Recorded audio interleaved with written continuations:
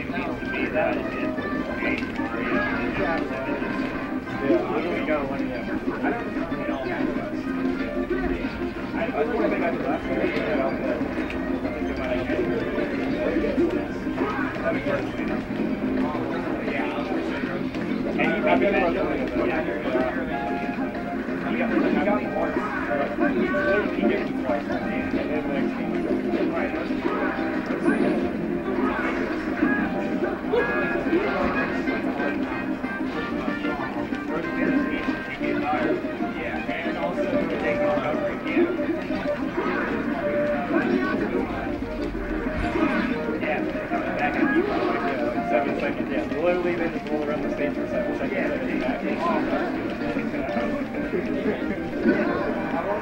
I, I just know that it's very hard. And I can verify it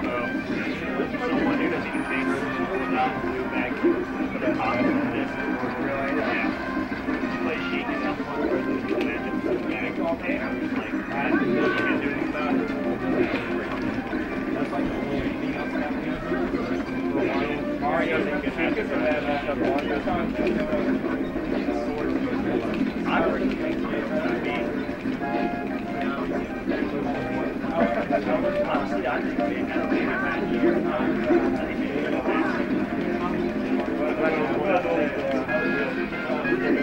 think